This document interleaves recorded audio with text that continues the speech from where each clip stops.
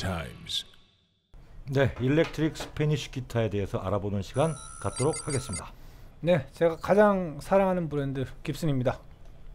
네, 버즈비 TV의 고품격 악기 버라이어티 Gear Times 지금 시작하겠습니다.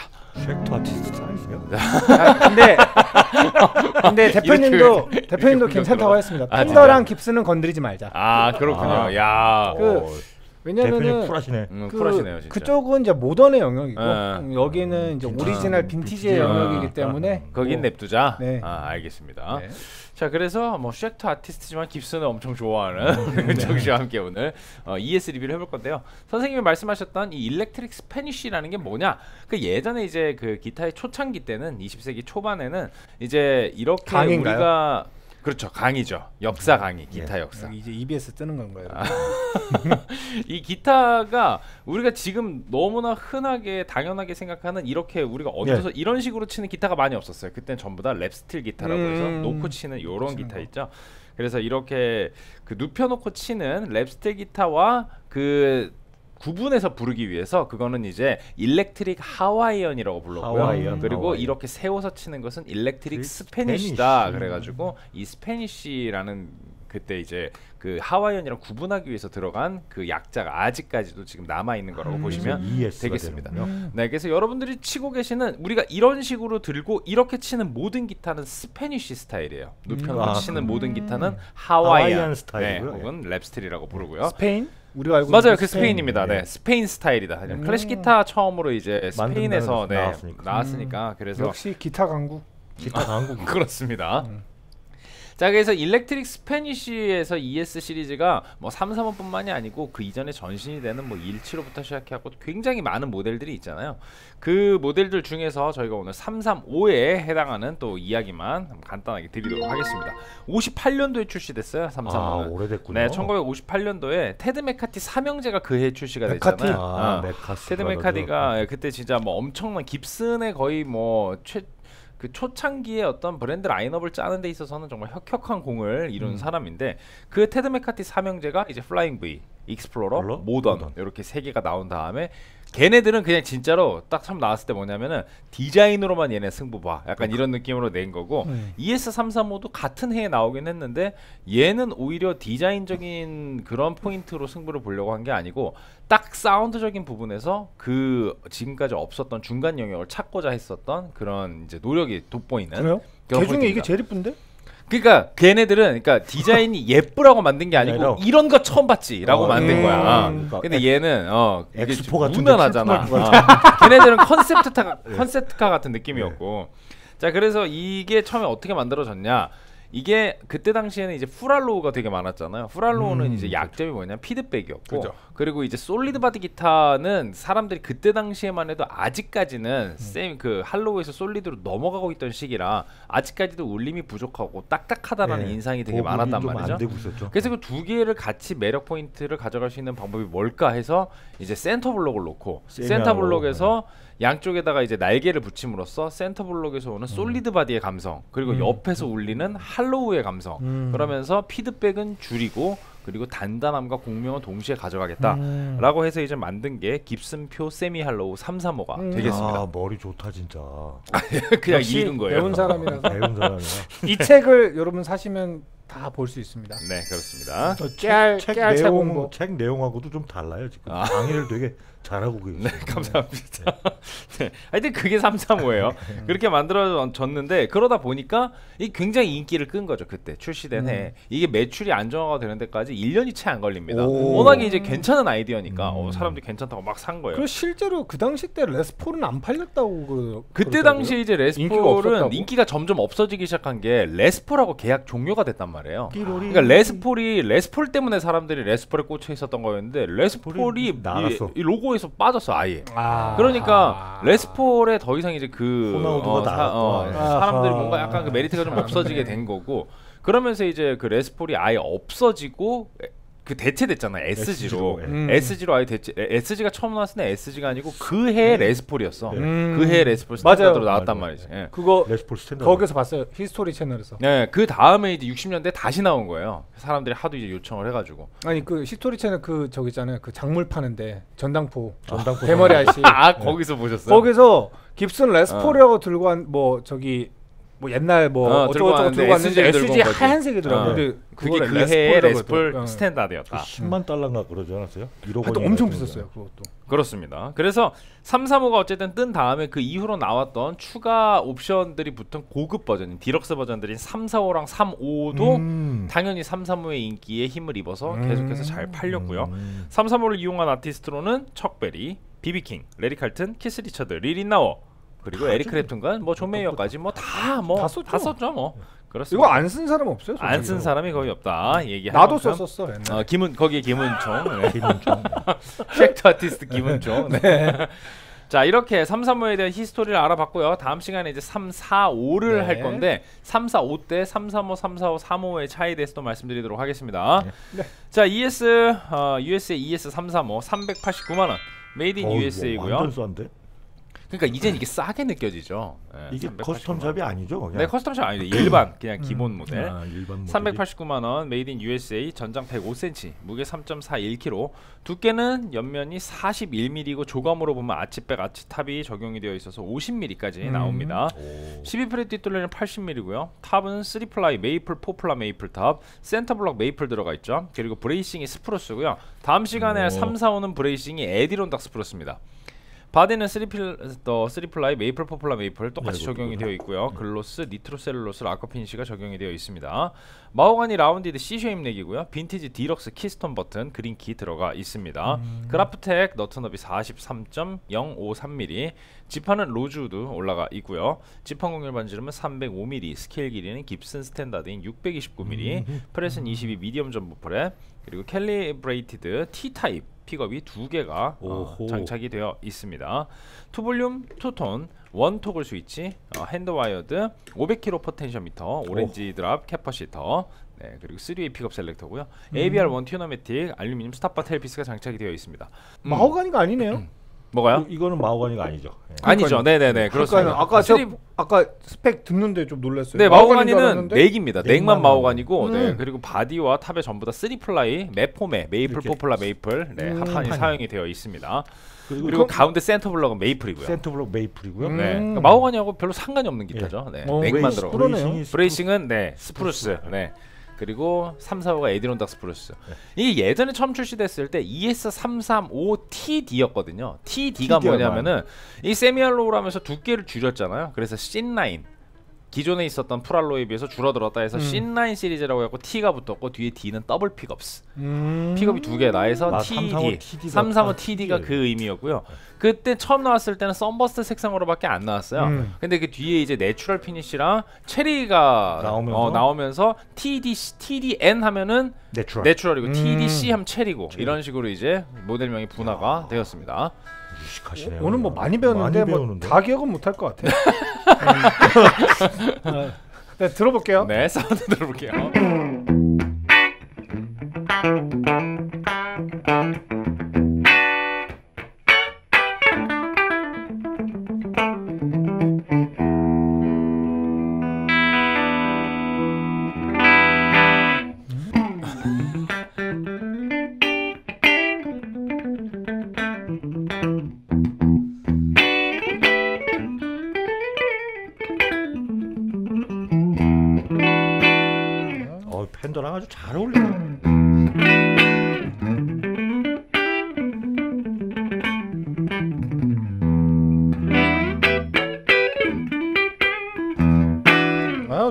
아유, 좋다. 아, 트리니 좋다, 볼브에다 좋다. 키고 치니까 얘네들이 라이벌이 아니라 무슨 협업 혐- 혐업사 그죠? 같아요. 그러니까 종교 대통합 같은 느낌이에요.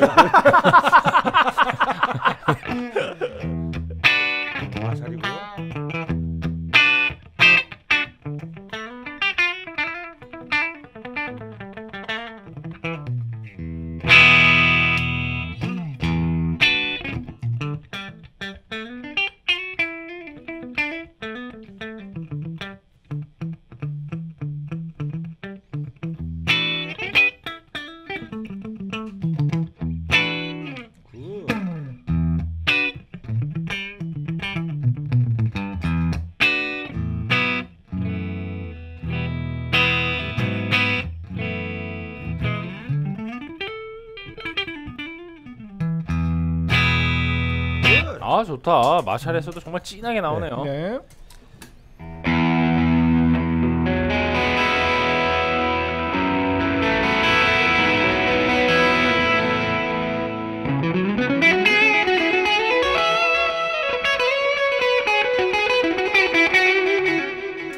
와, 이 시케스죠 지금. 네.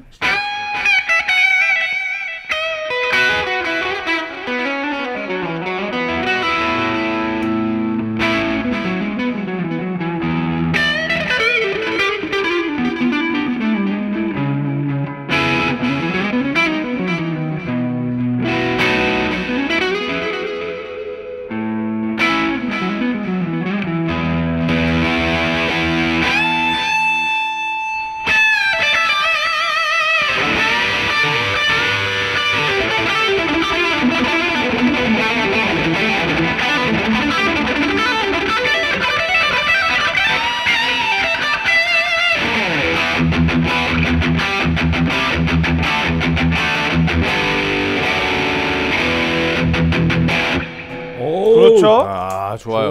좋다, 좋다. 선생님 마샬 들려주세요. 마샬 좋습니다. 랑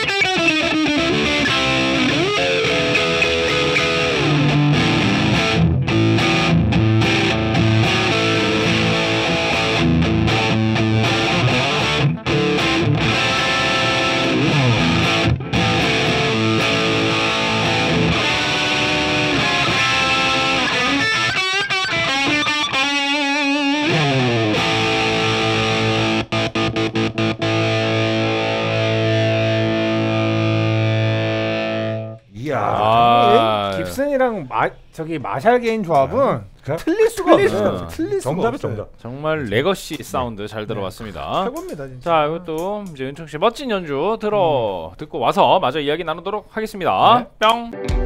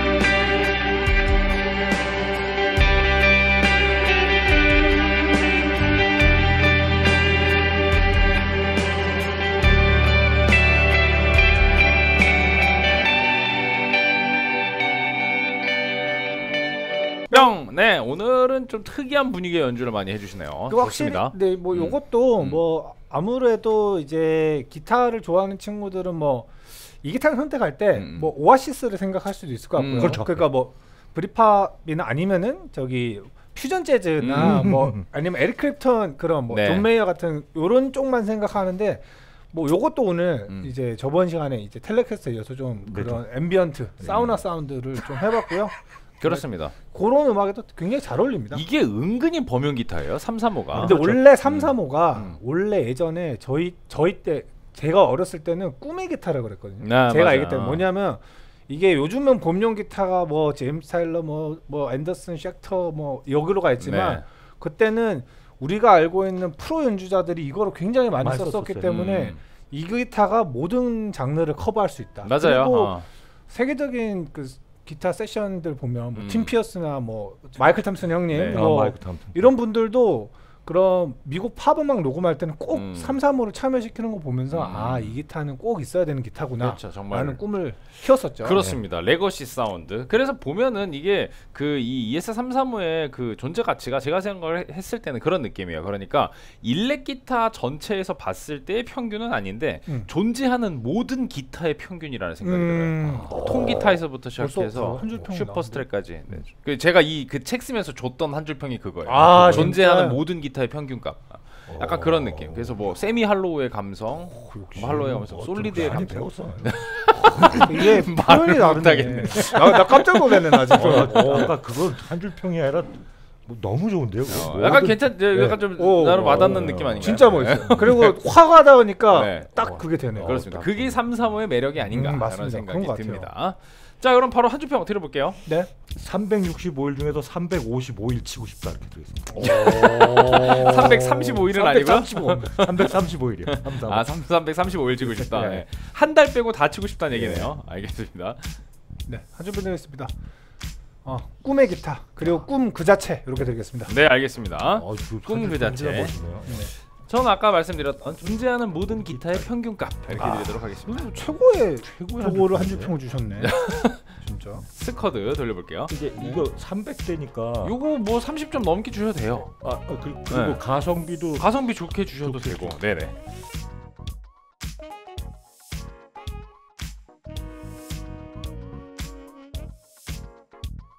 자 스쿼드 발표하겠습니다. 따단 어 상당히 고득점이 나왔어요. 네.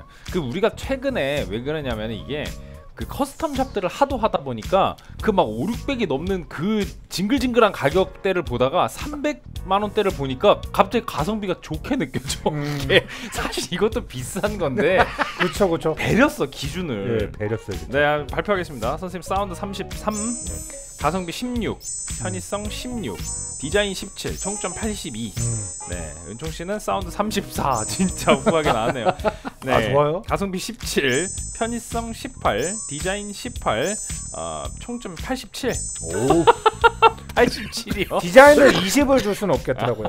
왜냐하면 미치겠다, 제가 진짜. 최고로 좋아하는 디자인 기타들이 아, 있기 때문에 네네. 저는 사운드 32, 가성비 15, 어, 편의성 16, 디자인 17에서 80점. 80 어, 점. 평균 어휴. 점수는 83점입니다.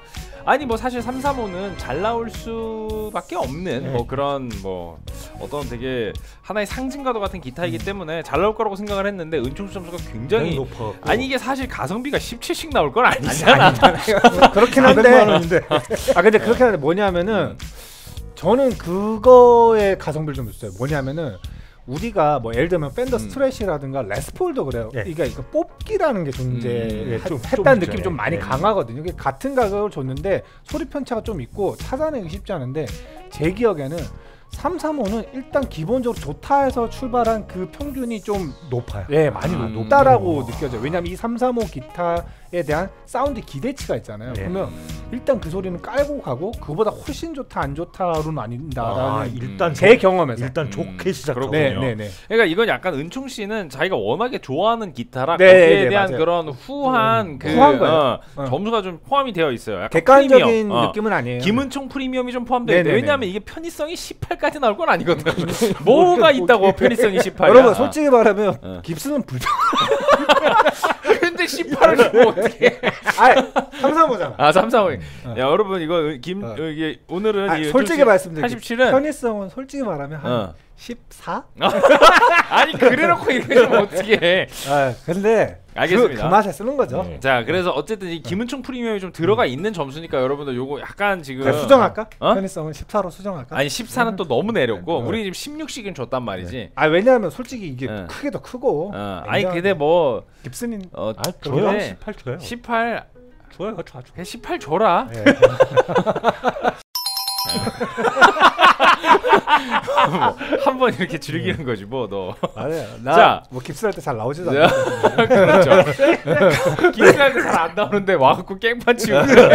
아 내가 깁스 너무 좋아해서 그래. 자, 어쨌든 평균 점수 83점으로 굉장히 높은 고득점이 나왔습니다. 음. 초고득점이 나왔어요. 저는 지금 솔직히 얘기하면 평균 점수가 제 생각보다 한 2, 3점 높게 나왔어요. 예, 음, 제한 생각에 80점 나올까 했는데 80이 훌쩍 넘었어요. 나 때문이지 뭐. 어, 맞죠. 그렇습니다. 오늘 3, 4, 5가 이 정도였기 때문에 다음 시간 3, 4, 5, 3, 또 3, 3, 5 리슈를 가면서 어떤 식으로 이제 점수가 또 변화가 될지 궁금한 게 이제 가격대가 팍팍 올라가기 때문에 가성비에서부터 이제 점수가 좀 흔들릴 거예요. 흔들리겠죠. 429만 원, 그 다음 시간에 617만 원. 음. 애초에 이제 얘기가 좀 달라지죠. 사운드도 저희가 다음 시간에 이제 3, 4, 5 갖고 온 다음에 쳐보고 3, 4, 5 바로, 바로 쳐보고 이거 한번 네. 해볼 거예요. 그거 거기서 이제 사운드 차이가 난다라고 하면은 사운드 점수 좀 바뀔 수가 있겠죠. 자 기대가 됩니다. 앞으로 이어서 두 편 남아 있으니까 기대해 주시고요. 은총 씨가 마무리해 주시죠. 네 치고 쳐도 계속 치고 싶은 기타였습니다. 그러네. 네 유튜브 구독과 좋아요는 크림입니다. Gear Gear Times. Times